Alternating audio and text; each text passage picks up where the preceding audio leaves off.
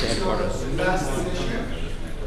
And actually, last but not the least, uh, because our last three speakers are more young and uh, innovative, actually. Uh, and some of these people are the people who have recently published in Nature magazine analysis of the human behavior. So they have received a lot of actually media attention locally and other places. Uh, uh, I think it's the, for me, it's one of the most exciting part actually of the presentation. And with that introduction, I think I have to say that uh, Mike Shen was supposed to uh, chair this session, and he's a marketing guy. And marketing guys change their plans if they have a call related to business. and this is exactly what which happened. And he left us with Jeb. Jeb is district last year, uh, last time, which is two years ago. So now you can start it again. Uh, Thank you, Kaveh. So I'm another marketing guy, and I think our sole purpose in events like this is to remind you all that we were the reason you were all in the top half of the class.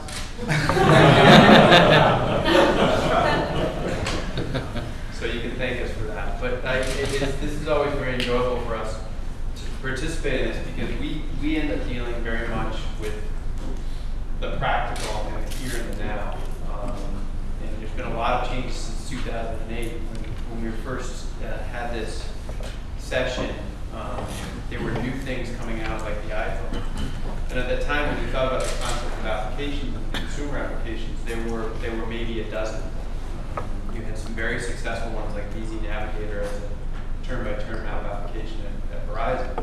Um, and things like Family Friend Finders or Local Search. And, and today there are, you know, you take like the application, uh, App Store on the iPhone, there, there are 8,500 applications that use location. Um, and with the growth of Android and Ovi from Nokia and BlackBerry, you're literally talking about tens of thousands of different use cases for location. Um, and the use case and the behavior patterns have changed quite a bit. Um, and that gets very interesting because it opens up a lot of new and dynamic things because we start thinking about location as it is part of the network and what's the interaction between a consumer and this cloud that they manage and control location through and with? And how is that location shared and where is it distributed? And then how do you share location between people? So as we get into things like new applications like Foursquare, um, and you check in at a bar and let all your friends know that you're there, that becomes a social networking dynamic. But then places like Facebook and Twitter, which are true mass consumer applications, which are now using location or will be using location as just a standard feature and capability how they work. So what gets very interesting is we have this a, a very a very eclectic cross-functional, cross-panel group of, of folks who are looking longer term at the social and technical and different implications and, and implications of how this works. Um, and so what I think you're going to get is a very interesting dynamic of, you know, what is the impact of privacy, privacy within the network, and privacy among users, and privacy among the networks and the, themselves.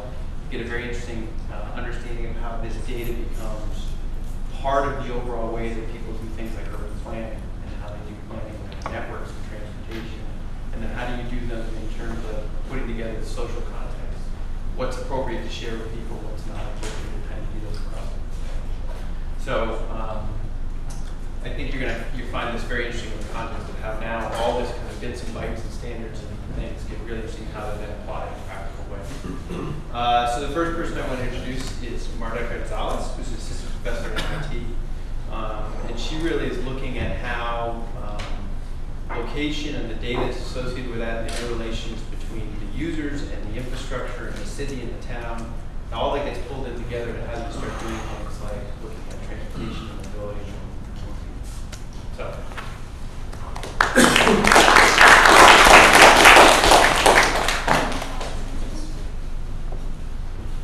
Hello. Uh, can You hear don't me? need that. Ah, that's great. You have good On my acoustic. computer. Okay. Yeah. But, but actually, if you stay on the podium, then they can take the ah, video. little bit. Ah, yeah. Okay. Um, it's a pleasure for me uh, to present my work in this audience because I, although I could not be earlier, count of things to do. I am starting my tenure track position, so I started only last July. And the kind of uh, that I got that position at MIT just recently is a proof that the research opportunities that this data availability presents are huge. So that's great to have the opportunity to present my work to the audience that has the hands directly into the data generation and the device and other kind of things. So, just as a motivation slide, uh, this is an issue that at News- uh, Newsweek in March, both, of- and this is a perspective in nature. And you are, we're finding in the last year more and more these kind of articles that are saying the first message is that tomorrow uh, online users are going to be online instead of in the desktops in their hands. This, as uh, was in the last presentation in the last section, changed the paradigm of the semantic of the internet, of the services, and it means an opportunity to science. In this case, uh, that's why, okay, that's uh, another way of saying is, in this article, uh, okay, the GPS tracking in cell phones could do for real world what Google did for the virtual world. Because you know where the people are, who are their friends, and where the services are. That's what they mean by Google, the, the mobile thing. And in this article that is in April 2009 in Nature, you can see because the mobile phone, the smartphones are sensors, the opportunities that is behind them. Even in some village, they can take a picture of uh, some medical conditions and transmit the information where the doctors are, because in the village they don't have the doctors. We are talking about opportunities in the de- developing world. So it's, we have like little computers that are cheaper and mobile, and all this can be addressed in this kind of way. Okay, what I'm going to be talking about, okay, my research is based on statistical physics to integrate and analyze vast amounts of information and try to uh, generate laws that describe human dynamics. And of course, the less subjective dynamic, if we talk about human dynamic, is trips. That's why in the framework of um, social network and human dynamics, I got more and more interest into trips modeling and location aware devices were the clear uh, sources that I had to analyze. And the ninth thing is I want to remind you that statistical physics has the power of trying to express laws, to find the laws in the analysis of the statistic of big numbers. You can see the typical example is the ideal equation of a gas. So we, we, that is, we are trained to try to extract the laws, and that is why this re, in terms of research is interesting for us. And okay, I'm going to uh, show you. Following the title of my presentation was a modeling human dynamics. Let's see what, how can we develop, given the, that the data is available, how can we develop a model of human dynamics, which means the trajectory in space and time, how the coordinate changes, and we, the goal is how to model that at a country scale. And that was one of the papers that appeared in Nature he was mentioning, and I am covering what appeared in the Nature and the new challenges, because the appeared like a couple of years ago. And let me first and all tell you, of course, this question is old.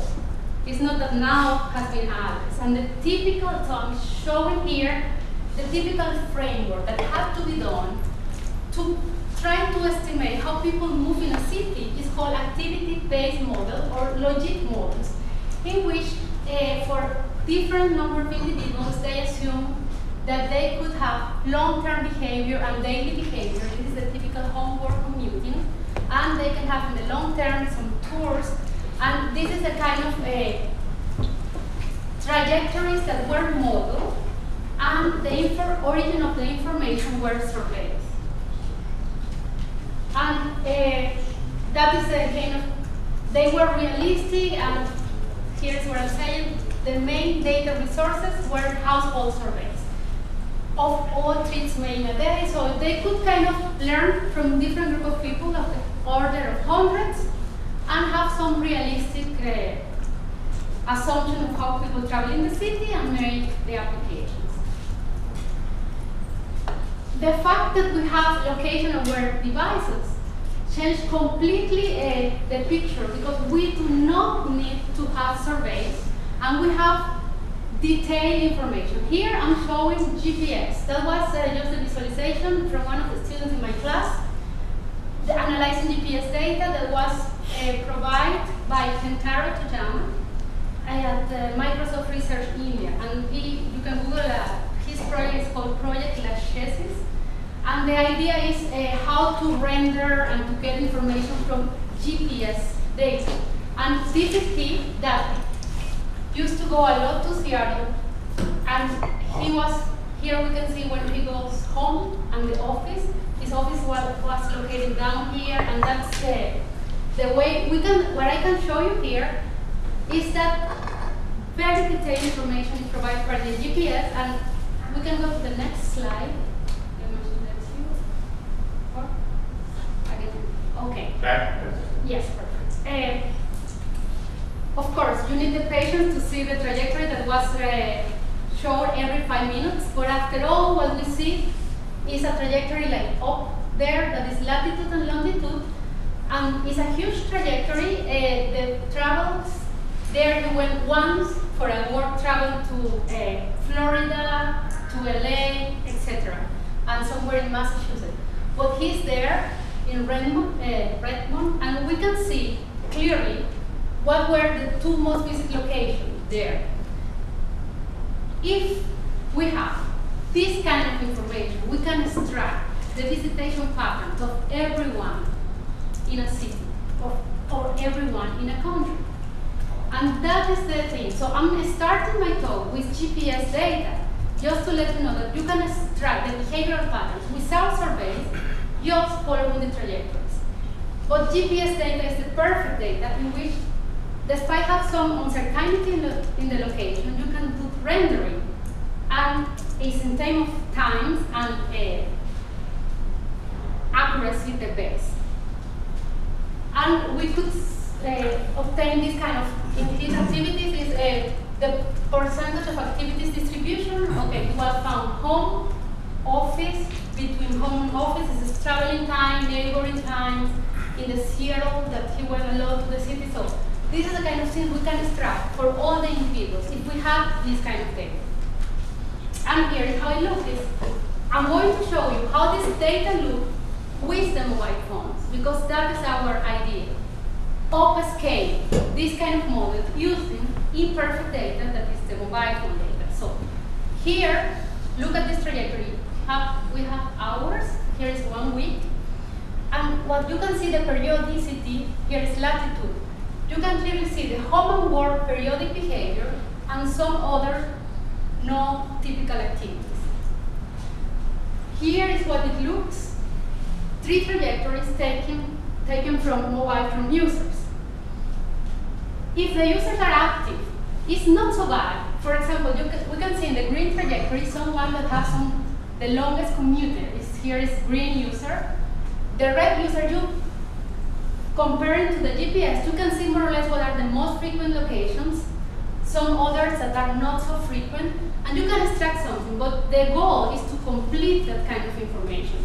And the problem is that sometimes where the circle or the ellipse is, they stop calling, and then we don't have the way to complete. We could feel and say, okay, the person is stay, stay there, but if it was a mall, it doesn't make sense. So how to complete this information, or how to use this information, is a research question. And that was the paper while that was published two, year, two years ago. And then the first thing we have to be aware of is that spatial limitation, different from GPS, we have that we can assume the person is anywhere within the area of coverage of the tower. Then it means the kind of behavior we're going to be able to measure is not just walking at a room level or a, inside a campus. It's like previous stories with GPS. We are going to be able to have commuting information.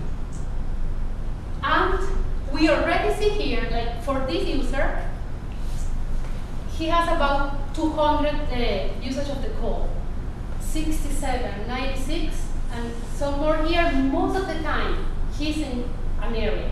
That's why we decided to quantify the radius, the radius of this area. And then what we did is for 100,000 users at a country scale to see what was the typical radius within which each user was most likely to be found during six months. And this here is a distribution. And then one may think, okay, but what happens if I never use the phone? How this, uh, because there is a, a heterogeneous uh, usage of the phone by the users.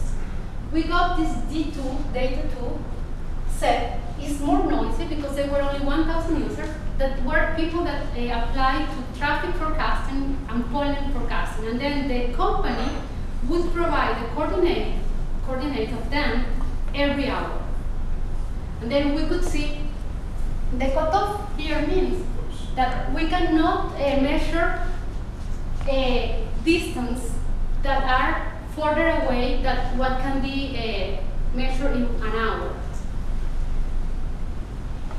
But that is the kind of behavior we observe. Ah, no, no, that's, uh, sorry, the cutoff in the RG we can measure because I'm, I was talking about other things. So in this case, what we are observing is that it's the same distribution. When we do delta R, that is the typical trip length, we have another distribution, and for the user of one hour, it appears more like here. So the maximum, so it has the same shape and decay here. So it's just a consistency observation. So we can, uh, we have very complete data and not so complete, and still you can detect the most visible location and their. This provides uh, the opportunity to, I mean, this uh, observation told us that means that the people is, of course they are not in jail, but this is a consequence, that is a trajectory in which there is a lot of repetitions. And this brought us to calculate the PL, where L is the frequency, uh, PL is the frequency of time a location, uh, a user is in location L. Imagine a person visits only five locations during the six months. Then one is the first visit, so the one that has the largest fraction of visits, and is decreasing. The interesting thing is we have users that most of the time visit only five locations, and others that visit 50. By definition, this is decreasing, but it's decreasing in the same shape, and this is a Zipf law. In terms of modeling, if we see the same plot in another scale, in the inset, we see that the first location is visited around 50% of the time. It's found the user there with the mobile phone. And the number two location is around 20, so more or less 70% of the time, so the first and second, 70% of the time we find the users in the two most visited locations. And we can know that every single user of the country. And we know that the mobile phone penetration, even in developing countries, is starting exponent, is increasing exponentially. So this has a very interesting source of information.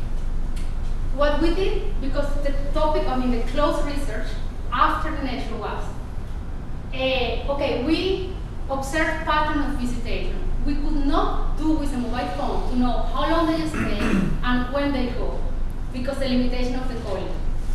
I can see the most visit location, but I, cannot know when.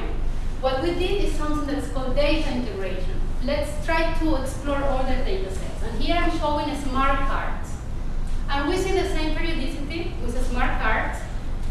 And we use the data from the subway cards of the London subway stations.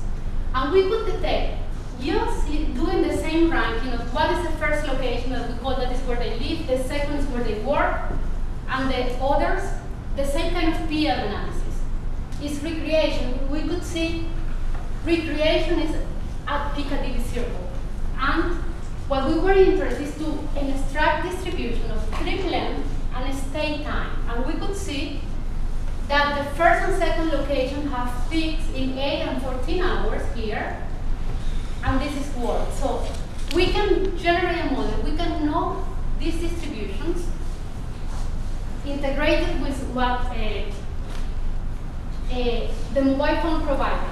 So using mobile phone data and smartphone data, we develop a model, which is here. This is what uh, it doesn't, it didn't appear in the in the network paper, but we are using some kind of temporal information that we obtain from other sources. That is uh, in terms of, so what we do here, what we do is this kind of uh, analysis, I cannot go into the detail because it will take too long, but that is what we are observing is in this preference of location, we are, we have the model in red and the data in blue. So as you see here on top, these differences in the blue and the red is not perfect. That is why this paper is still not published, but do, uh, only with some statistical assumption, state time distribution, and ranking of location, we can really provide uh, this kind of behavior. That is, each dot is a user. If you see at peak hours, everyone goes to the center and go back. So we can have a large scale uh, modeling of how people visit the land without making assumption of agent base, mostly in distribution and using large amount of data. Then, okay, no, okay, that was one word, modeling trajectories. Now I, I don't have more time, do I? He's keeping the time. No, no, Okay, I can. I'm not going to show you like detailed information, but it's very interesting to talk about the research perspective. In the network paper, we will have the trajectories in abstract. We call PL, first visit, second visit, etc. Now I am in a civil and environmental engineering department. It's not enough to have the location they visit as abstract trajectory. We need to know how they go. And the beautiful thing is like, if you know, when you, each of us use Google Map, you know your house, you know your work. The route you use that Google Map tell you, well, I mean, I know my house, I, I knew I, had, I was coming here, I used Google Map. The route is just done by what is called a route finding algorithm. That's what we did, and now I'm concentrating not at a country scale for the behavioral models, but I am using 1 million mobile phone data users in the Boston area. And we apply the route finding to the commuting behavior, and that is what we are observing. And of course, in order to, as you know, always keep in mind that the mobile phone data have limitations. We need always to validate our models, and we have the MassDOT data, and then we can calibrate the model and say, if this amount of people is going to travel n kilometers, we have to distribute the mode of transportation. Which fraction uses public transportation, which are walking. But the nice thing about this, different from particles, humans have finite modes of transportation, and there are not so many options. When I'm going to Belmont, from Belmont where I live to MIT, there are like four modes, no, only two modes. I'm not going to walk. Either take the bike, the bus, or drive, three modes, and few routes that are the most common. We validate the traffic, and we can have now the mobility mode, I mean, the kind of trajectories is an assumption. But the beautiful thing is that can be done not only in Boston, can be done anywhere where the CDRs, the billing information is done, that is in other countries as well. And this continues that, for example, here I'm showing MassDot again is providing the data real-time information. This is a bus. Of course, the time I'm putting it a little bit fast, not to get you bored, but we are knowing where the 543 buses in the same area are. What it gives me? The velocity. I can have an, an estimate of the volume. The mobile phone cannot tell, it's not a GPS, cannot tell me the velocity, but I can use the buses to know the velocity. If I know the traffic and the accurate velocity of the street, we can have a unique and new method to uh, measure energy consumption, uh, which means fuel emission. And that is the research I'm doing right now with this Boston data. And uh, just to give you an idea of the scales, here is Middlesex County. Here is this square here, which is zoomed there. Uh. Somewhere here is MIT, I cannot see it now. Okay, great. Here's MIT. So most of our colleagues work at most in the neighboring towns. So here I'm putting all the population, and it looks in the Middlesex County is as small as this little square. The transportation network models that are used today are, are at county level. If you say, okay, how can I want to know the transportation model of commuting in the US census, it's going to be at the county level. That means that we are going to have all the commuting from this huge area, which is a county, to the neighboring counties. But most of the commuting happen inside this square. And this is the, the kind of thing we are working is trying to develop transportation network at a completely new scale. And this is possible because the data available that before it was not. So we are combining data and also we have land use. Here is the same map in which uh, we use GIS and we say, okay, each color represents residential and uh, here is MIT is uh, pink, means pink means prof professional and institutions, beige, which is the most of the area is residential. We have uh, commercial in yellow, water in blue, green, so we can have digital information on top of which our users are, and we can know with colors which kind of places they are. And then that would give a lot of richness to our behavioral model. That is the message. And here is the, how it looked, the distribution of population. Here is latitude, so I took one, one uh, line here, and see, here's number of people that live there. So it's it changes a lot. In order to see how people travel, I'm talking about not individual anymore, but aggregated travel. That means transportation network. How to generate a transportation network at this scale is hard, but now we're working on that. That is a very nice model that uses multiplicative random processes, and it's very interesting how can we, with the data and modeling techniques, generate similar uh, behaviors and this is how is that I was showing you only Middlesex, but we are talking about these uh, interesting patterns that for us is, has very interesting physical properties, statistical physical properties. Can be generated by a multiplicative random process. And here we have this data not now for the White Phone, it's from Oak Ridge National Lab that have the best uh, distribution, description of the distribution of people on Earth. And we are trying to model this again with our techniques to see what is the probability of finding a travel, a trip, but at very small scale. It's not at a county scale. That's the message. Where else? Well, that is how the model looks. It's quite similar, and it's, uh, but I'm not gonna see, tell you much more. In conclusion, what we are trying to do with this combination of the statistical physics and data is pattern of energy consumption, rough network comparative study, because we can have 20 metropolitan cities, uh, metropolitan areas, sorry. Interactions with public transportation, that we all learn all that with a goal, like for example, that people use more public transportation or, or do car sharing. And to understand using the research view how people interact with space. And let me see, I can say. Okay. My collaborators is uh, on top the student, I'm missing this picture, and the professors at MIT, with Nigel Wilson, I work in the subway data, with Daniele Veneziano in the multiplicative random process, and with Nathan Eagle from Santa Fe Institute. He is providing me with 19 cities to compare the, all what I told you was either in the US or Europe, but he has mobile phone data from Africa, countries in Africa and South America, and then we are trying to see some changes with income and those.